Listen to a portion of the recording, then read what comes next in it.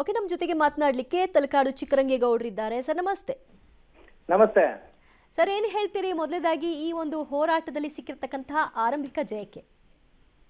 ಇಲ್ಲ ಬಹಳ ಸಂತೋಷ ಆಗ್ತಿದೆ. ಮತ್ತೆ ಇದು ಯಾವುದೇ ರೀತಿಯ ಕಾಂಟ್ರವರ್ಸಿ ಇಲ್ಲ ಇದರಲ್ಲಿ. ಓಕೆ. ಈ ಬೇರೆ ಬೇರೆ ದೇವಾಲಯದ ಬಗ್ಗೆ ಒಂದಲ್ಲ ಒಂದು ಕಾಂಟ್ರವರ್ಸಿ ಇರುತ್ತೆ. ಇಲ್ಲಿ ಆ- ರೀತಿ ಯಾವುದೇ ರೀತಿಯ ಕಾಂಟ್ರವರ್ಸಿ ಕಾಣ್ತಾ ಇಲ್ಲ. ಸಂಪೂರ್ಣವಾಗಿ ಅದು ಶಿವನಿಗೆ ಸಮರ್ಪಿತವಾದಂತ ಒಂದು ದೇವಾಲಯಗಳ ಸಮುಚ್ಚಯ.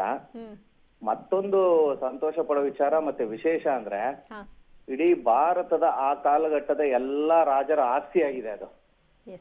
ಕನ್ನಡ ಶಾಸನಗಳು ತೆಲುಗು ಶಾಸನಗಳು ಬೇರೆ ಬೇರೆ ಭಾಷೆಯ ದಕ್ಷಿಣ ಭಾರತದ ರಾಜರುಗಳ ಶಾಸನ ಎಲ್ಲ ಅಲ್ಲಿ ಸಿಕ್ಕಿರೋದು ನೋಡಿದ್ರೆ ಇಡೀ ಸಮಗ್ರ ಭಾರತೀಯರ ಆಸ್ತಿ ಆಗ್ಬಿಟ್ಟಿದೆ ಅದು. ಸೊ ಹೀಗಾಗಿ ಇದನ್ನ ಸಂಪೂರ್ಣವಾಗಿ ಬಹಳ ಸಂತೋಷದಿಂದ ಈಗಿನ ಮಾಲೀಕರು ಯಾರಿದ್ದಾರೆ ಅವ್ರು ಯಾರೇ ಆಗಿರ್ಲಿ ಅದನ್ನ ಸರ್ಕಾರಕ್ಕೆ ವಹಿಸಿ ಸರ್ಕಾರದವರು ಅದನ್ನ ಮೂಲ ಅದರ ಮಾಲೀಕರುಗಳು ಯಾರಿದ್ರು ಅಥವಾ ಹಿಂದೂಗಳು ಅಂತ ನಾವೇನ್ ಜನರಲ್ ಆಗಿ ಹೇಳ್ತೀವಿ ಆ, ಅವರ ವಶಕ್ಕೆ ಕೊಟ್ಟು ಹಿಂದಿನ ಗತ ವೈಭವ ನಮ್ಮ ನಂಬಿಕೆಗಳು ಹೇಗಿತ್ತು. ಯಾಕೆಂದ್ರೆ ಕಾಶಿ ಅಂತ ಹೇಳಿದ್ರೆ ಅವಿನಾಭಾವ ಸಂಬಂಧ ಇದೆ. ಕಾಶಿಗೆ ನಮ್ಮವರು ನಡ್ಕೊಂಡ್ರಷ್ಟು ಬಹುಶಃ ಭಾರತದಲ್ಲಿ ಇನ್ಯಾವ ಪುಣ್ಯಕ್ಷೇತ್ರಕ್ಕೂ ನಡ್ಕೊಂಡಿಲ್ಲ. ಆಮೇಲೆ ಇನ್ನೂ ಆಳಕ್ಕಿಳಿದು ನೋಡ್ಬೇಕಂದ್ರೆ ಸಮಗ್ರ ಏನ್ ಹೇಳ್ತೀವಿ ಶ್ರಮಜೀವಿಗಳ ಶ್ರದ್ಧಾ ಕೇಂದ್ರ ಕಾಶಿ. ಮತ್ತೆ ಅದರ ಅನಾದಿ ಕಾಲಕ್ಕೆ ಹೋಗ್ಬಿಟ್ರೆ ಅದ್ರದ್ದು ಟ್ರೇಸ್ ಔಟ್ ಮಾಡಕ್ಕೆ ಆಗಲ್ಲ ಆ ಪ್ರಮಾಣದ ಹಿನ್ನೆಲೆ ಇದೆ. ಎಲ್ಲಾ ಜನಾಂಗದವ್ರಿಗೂ ಅದೊಂದು ಶ್ರದ್ಧಾ ಕೇಂದ್ರ. ಎಲ್ರೂ ಕೂಡ ಅದನ್ನ ಇಷ್ಟಪಡ್ತಾರೆ.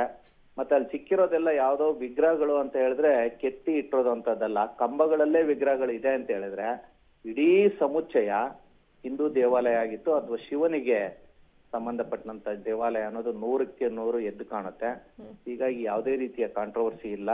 ಪ್ರಸ್ತುತ ಅದರ ಮಾಲೀಕರಾಗಿರುವಂತ ಮುಸಲ್ಮಾನರಾಗ್ಲಿ ಯಾರೇ ಆಗ್ಲಿ ಬಹಳ ನಗನಗ್ತಾ ಸಂತೋಷದಿಂದ ಕಾನೂನಿಗೂ ಕೂಡ ಗೌರವವನ್ನು ಕೊಟ್ಟು ಅದನ್ನ ಹ್ಯಾಂಡ್ ಓವರ್ ಮಾಡ್ಬಿಟ್ರೆ ನಮ್ಮ ಸಂವಿಧಾನದ ಪ್ರಕಾರ ಯಾವುದೇ ಸಮಸ್ಯೆ ಇರಲ್ಲ. ನ್ಯಾಯಾಲಯನೂ ಕೂಡ ಅದನ್ನ ಹೇಳಿದೆ ತೀರ್ಮಾನ ಕೊಟ್ಟಿದೆ ಅಂತ ನಾನು ಕೇಳ್ಪಟ್ಟೆ. ಈಗ ನಾನು ಪಬ್ಲಿಕ್ ಟಿವಿಯಲ್ಲಿ ನಾನು ನೋಡಿದೆ. ಇಲ್ಲಿ ಇಲ್ಲಿ ಯಾವುದೇ ರೀತಿಯ ಕಾಂಟ್ರವರ್ಸಿ ಇಲ್ಲ. ಆಮೇಲೆ ಬಹು ಜನರ ಒಂದು ಆಸ್ತಿ ಆಗುತ್ತಿದು ಎಲ್ರೂ ಕೂಡ ಎಲ್ರ ಪಾಲು ಇದೆ. ಅಂದ್ರೆ ಈಗ ನಮ್ಮ ಕರ್ನಾಟಕದ ಎರಡು ಶಾಸನ ಸಿಕ್ಕಿದೆ ಅಂದ್ರೆ ಕನ್ನಡಿಗರ ಪಾಲಿದೆ. ತೆಲುಗು ಶಾಸನಗಳು ಸಿಕ್ಕಿದೆ ಅಂದ್ರೆ ಆಂಧ್ರದವ್ರ ಪಾಲಿದೆ. ಹುಡುಕಿದ್ರೆ ತಮಿಳ್ ಶಾಸನನು ಸಿಗ್ಬೋದು ಅಥವಾ ಕನ್ನಡಿಗರದ್ದು ಇನ್ನೂ ಹೆಚ್ಚಿನ ಪ್ರಮಾಣದಲ್ಲಿ ಶಾಸನಗಳು ಸಿಗ್ಬೋದು.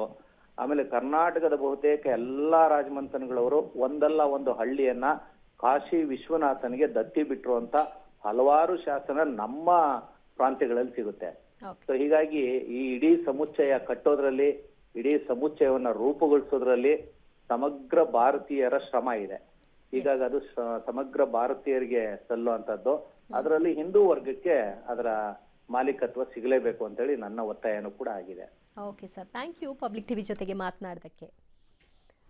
ಓಕೆ ಈಗ ಜ್ಞಾನ ಜ್ಞಾನವ್ಯಾಪಿಯಲ್ಲಿ ಆ ಮಸೀದಿಯ ಒಂದು ನೆಲಮಾಳಿಗೆಯಲ್ಲಿರುವಂತಹ ಆ ಮೂರ್ತಿಗಳಿಗೆ ಪೂಜೆಗೆ ಅವಕಾಶ ಸಿಕ್ಕಿರೋದು ಎಲ್ರಿಗೂ ಕೂಡ ಖುಷಿಯನ್ನು ತಂದಿದೆ. ಅದನ್ನೆಲ್ಲರೂ ಕೂಡ ಪೂರ್ಣ ಮನಸ್ಸಿನಿಂದ ಸ್ವಾಗತ ಮಾಡ್ತಾ ಇದ್ದಾರೆ. ಮುಂದಿನ ದಿನಗಳಲ್ಲಿ ಪರಿಪೂರ್ಣವಾದಂತಹ ಹೋರಾಟಕ್ಕೆ ಜಯ ಸಿಗಲಿ ಅನ್ನುವಂತಹ ವಿಶ್ವಾಸವನ್ನು ಕೂಡ ವ್ಯಕ್ತಪಡಿಸ್ತಾ ಇದ್ದಾರೆ.